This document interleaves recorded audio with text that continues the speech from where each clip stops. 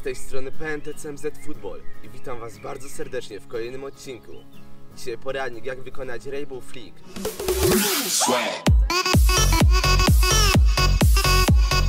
Jest to trik bardzo popularny i wydaje mi się, że większość z was go zna. Poprawnie wykonany Rainbow Flick wygląda tak. Jak widzicie jest to trik prosty i według mnie dla każdego osiągalny. Wystarczy trochę poćwiczyć i zrobicie go bez problemu.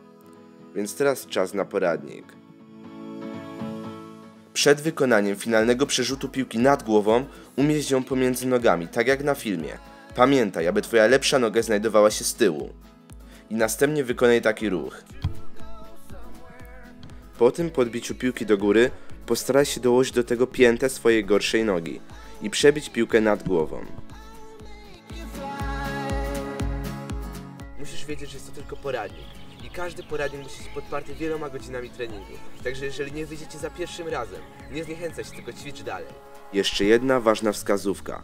Podczas wykonywania przerzutu piłki nad głową staraj się być pochylonym do przodu, dzięki czemu będzie prościej wykonać trik.